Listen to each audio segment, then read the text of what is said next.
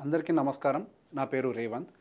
మనం ఈరోజు market analysis చేసుకునే ముందు నిన్నటి అనాలిసిస్లో మనం ఏం చెప్పుకున్నామో ఒక్కసారి రివైజ్ చేసుకునే ప్రయత్నం చేద్దాం సో దట్ మనకి అనాలిసిస్ మీద కొంత కాన్ఫిడెన్స్ కూడా బిల్డ్ అవుతుంది.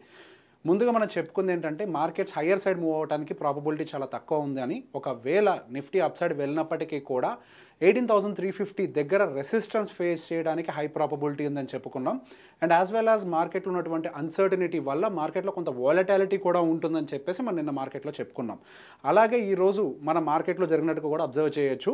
మనం ఈరోజు మార్నింగ్ నైన్ థర్టీ కంటే ముందే మన టెలిగ్రామ్ గ్రూప్లో ఇంట్రాడే లెవెల్స్ అనేవి పోస్ట్ చేసాం ముందుగా నిఫ్టీని గమనించినట్లయితే ఎస్జిఎక్స్ నిఫ్టీ కొంత గ్యాప్ డౌన్ని ఇండికేట్ చేస్తున్నప్పటికీ కూడా నిఫ్టీ మాత్రం కొంత గ్యాప్ అప్ తోటి ఓపెన్ అయ్యి కొంత అప్ సైడ్ మూవ్ అయ్యి eighteen thousand three hundred and above చాలా టైం వరకు కూడా సస్టైన్ అయింది. సో ఇక్కడ eighteen thousand three hundred and above అనేది మార్కెట్లో ఒక కీ రెసిస్టెన్స్గా చాలా మంది ఎక్స్పెక్ట్ చేస్తున్నారు. సో ఒకసారి eighteen thousand three hundred break అయినట్లయితే అక్కడ నుంచి next Nifty eighteen thousand five hundred six hundred వెళ్ళడానికి ప్రాబబిలిటీ ఉందని చెప్పి ఎక్స్పెక్ట్ చేస్తున్న టైంలో కూడా మనం చెప్పాం ఎయిటీన్ త్రీ ఫిఫ్టీ దగ్గర రిజెక్షన్ రావచ్చు అని. అలానే మార్కెట్ ఒక ఒక రకమైన బుల్ ట్రాప్ లాగా క్రియేట్ చేసి eighteen thousand three hundred and above almost ఒక త్రీ అవర్స్ సస్టైన్ అవడం మనం గమనించాం. అక్కడ నుంచి ఆల్మోస్ట్ త్రీ అవర్స్ సస్టైనెన్స్ తర్వాత ఒక సడన్ రివర్సల్ మన మార్కెట్లో అబ్జర్వ్ చేసాం. ఆల్మోస్ట్ ఎక్కడ దాకా వచ్చిందంటే eighteen thousand two hundred thirty వరకు కూడా రివర్సల్ వచ్చింది అంటే ఆల్మోస్ట్ లైక్ వాటి ఆల్ టైమ్ హై నుంచి లో వరకు కూడా వాళ్ళు గమనించినట్లయితే high to low almost hundred hundred one ten points మనకి నిఫ్టీలో రివర్సల్ రావడం గమనించాం. ఆ రివర్సల్ కూడా ఎక్కడ దాకా వచ్చింది అంటే మన రివర్సల్ పాయింట్ మనకి up side resistance and down side సపోర్ట్తో పాటుగా మధ్యలో ఒక రివర్సల్ పాయింట్ కూడా ఇస్తున్నాం మనం బ్లాక్ లైన్ తోటి. అంతవరకు కూడా వచ్చి ఇవాళ నిఫ్టీ కొంత రివర్స్ అయి క్లోజ్ రావడం గమనించాం. అదేవిధంగా బ్యాంక్ నిఫ్టీ కూడా ఇవాళ కొంత గ్యాప్ అప్ తోటి ఓపెన్ అయింది కానీ అప్ సైడ్ మూవ్ కాలేకపోయింది. అది కూడా మనం ఇచ్చిన రెసిస్టెన్స్ జోన్ దగ్గరికి వెళ్ళి రిజెక్షన్ తీసుకొని ఒక కైండ్ ఆఫ్ ఒక ఎం ప్యాటర్న్ అంటే ఒక డబుల్ టాప్ ప్యాటర్న్ని ఫామ్ చేసి అక్కడ నుంచి డౌన్ సైడ్ స్లైడ్ అయింది. Almost four hundred points down side slide అయింది.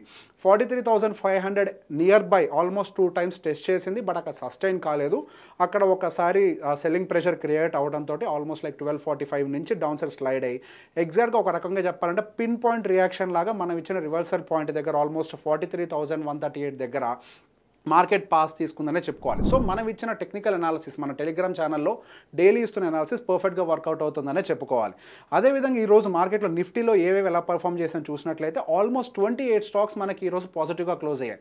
ఈరోజు మేజర్గా మనకి నిఫ్టీని డ్రా డౌన్ చేయడానికి బాగా ఇది చేసింది ఏంటి అంటే ఐటీసీ అండ్ ఎస్బీఐ ఈ రెండు కూడా మార్కెట్ని బాగా ఎఫెక్ట్ చేశాయి.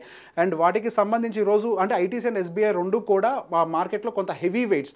సో అవి మనకి ఆల్మోస్ట్ టూ పర్సెంట్ అట్లా ఐటీసీ స్లైడ్ అవ్వడంతో ఒక టెన్ పాయింట్స్ వరకు కూడా నిఫ్టీలోంచి టేక్అవుట్ చేసేసింది. And SBI also the same case and ఈరోజు మనకి out of twenty eight stocks top gainer వచ్చేసరికి Divi's lab it was up by two point nine five percentage and followed by Coal India it was up by one point five percentage and ఈరోజు top loser Nifty ఫిఫ్టీలో వచ్చేసరికి UPL it was down by minus two point nine four percentage and followed by ITC minus one point seven seven and SBI minus one point seven three and Bajaj Finance minus one point five nine ఇక్కడ మనం చూసుకున్నట్లయితే heavy weights అన్ని కూడా కొంచెం ఎక్కువ weightage నిఫ్టీలో ఉన్నాయి అన్నీ కూడా అది కూడా negative side and minus one side ఉండటం తోటి నిఫ్టీలో అప్ సైడ్ వెళ్ళినా కానీ ఒక సెల్లింగ్ ప్రెషర్ క్రియేట్ అవ్వడం మనం గమనించాం. అదే బ్యాంక్ నిఫ్టీలో గమనించినట్లయితే out of twelve five were in green and other seven were in red. And ఈరోజు మనకు టాప్ ఫైవ్లో ఫస్ట్ టాప్ పర్ఫార్మర్ వచ్చేసరికి AU Small Finance Bank. It was up by one point three percentage and followed by IndusInd Bank it was up by one point two seven percentage ఈరోజు top loser వచ్చేసరికి PNB bank it was down by minus three point five five percentage in bank Nifty ఈరోజు మనం మార్కెట్లో గమనించినట్లయితే కంటిన్యూస్గా resistance వస్తూనే ఉంది. మన మార్కెట్లో చెప్తూనే ఉన్నాం అన్సర్టినిటీ క్లియర్ అయ్యేంత వరకు కూడా మనం ఎటువంటి డైరెక్షన్ తీసుకోకూడదు మార్కెట్లో అని. ఈరోజు మన ఓఐ డేటా కూడా గమనించినట్లయితే కంటిన్యూస్గా put writing morning side morning time అంతా జరుగుతూనే ఉంది. ఎయిటీన్ థౌసండ్ టూ హండ్రెడ్ దగ్గర ఒక మంచి పుట్ రైటింగ్ ఉంది. Eighteen eighteen thousand three hundred దగ్గర కూడా ఒక మంచి పుట్ రైటింగ్ అనేది బిల్డ్ అయింది. కానీ ఒక్కసారి మార్కెట్ రివర్సల్ అవ్వటంతో ఈ పుట్ రైటర్స్ అందరూ కూడా లాస్ బుక్ చేసుకోవడం స్టార్ట్ చేశారు. అండ్ ఇమీడియట్గా call side eighteen thousand three hundred దగ్గర ఒక హ్యూజ్ కాల్ ఓఐ బిల్డప్ అవడం కూడా మనం గమనించాం. అదేవిధంగా బ్యాంక్ నిఫ్టీలో కూడా గమనించినట్లయితే almost forty three thousand five hundred దగ్గర ఒక హ్యూజ్ కాల్ ఓఐ బిల్డప్ అనేది జరిగింది. సో మేబీ అది ఒక రెసిస్టెన్స్గా యాక్ట్ అవుతుంది అని చెప్పేసి మనకు మార్కెట్ ట్రేడర్స్ బిలీవ్ చేస్తున్నారు. అండ్ యాజ్ వెల్ యాజ్ నిఫ్టీలో ఎయిటీన్ థౌసండ్ త్రీ హండ్రెడ్ దగ్గర హ్యూజ్గా కాల్ అవే అనేది బిల్డప్ అవడం మనం అబ్జర్వ్ చేస్తున్నాం. So eighteen thousand three hundred and eighty and bank Nifty forty three thousand five hundred and above కంప్లీట్గా ఒక one day or two days అట్లా సస్టైన్ ఒక మంచి పాజిటివ్ ప్రైస్ యాక్షన్ ఫామ్ చేసేంత వరకు కూడా మనం బులిష్ సైడ్ తీసుకోవడానికి లేదు. And even on the lower side eighteen fifty మనం బ్రేక్ చేయనంత వరకు కూడా లోవర్ సైడ్ తీసుకోవడానికి లేదు. ఇన్ బిట్వీన్ మనకి యూఎస్లో రాబోతున్న CPI inflation data and as well as ఈ Karnataka state elections uncertainty clear అయ్యేంత వరకు కూడా మార్కెట్ ఏ డైరెక్షన్లో వెళ్ళే అవకాశం లేదని నేను పర్సనల్గా బిలీవ్ చేస్తున్నాను. సో ఈ రోజు నుంచి మన మార్కెట్ అనాలిసిస్తో పాటు మరికొంత అదర్ న్యూస్ని కూడా గమనించినట్లయితే మనకి పర్టికులర్గా ఐసిఐసి సెక్యూరిటీస్ అంటే బేసిక్గా మనకు ఫండమెంటల్గా పెద్ద హ్యూజ్ న్యూస్ ఏ మార్కెట్లో ఈరోజు క్రియేట్ కాలేదు. బట్ ఐసిఐసి సెక్యూరిటీస్ కొంత మా ఒక పాజిటివ్ రిపోర్ట్ని మార్కెట్లో రిలీజ్ చేసింది.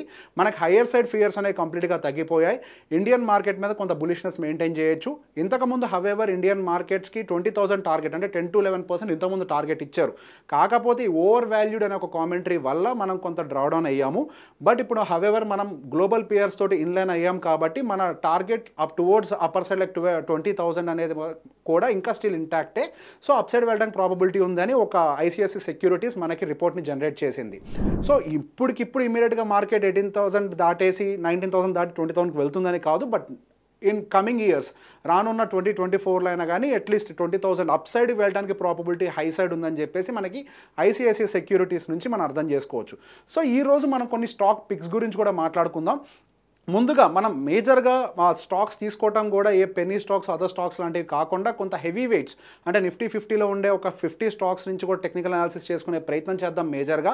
సో దట్ మనకి డౌన్ సైడ్ ప్రాబబిలిటీస్ తక్కువగా ఉంటాయి మన పోర్ట్ఫోలియో రావడం కూడా తక్కువగా ఉంటుంది. సో అందులో మనం ముందుగా ఐడెంటిఫై చేసింది ఇన్ఫోసిస్. ఇన్ఫోసిస్ అనేది చాలా ఫండమెంటల్గా చాలా స్ట్రాంగ్ కంపెనీ. ఏదో రీసెంట్గా వచ్చిన కొంత negative results.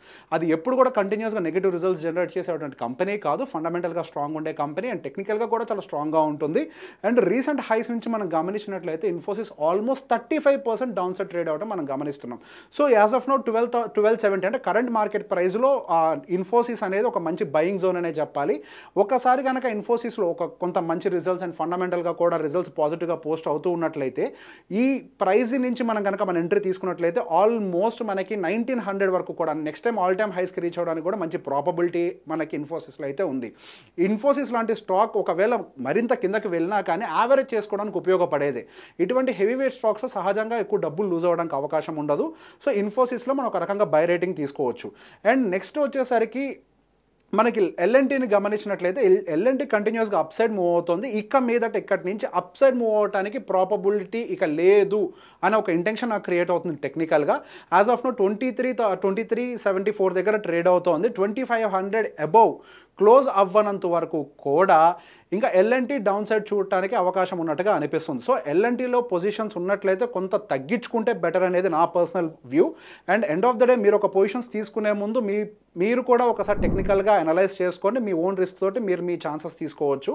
But end of the day మనకి ఇన్ఫోసిస్ మాత్రం అప్ సైడ్ పంపించుకుంటున్నాం అండ్ బట్ ఎల్ఎన్టీకి మాత్రం డౌన్ సైడ్ తంపించుకుంటున్నాం ఈ రోజు అనాలిసిస్ మీకు నచ్చినట్లయితే లైక్ చేయండి షేర్ చేయండి. Thank you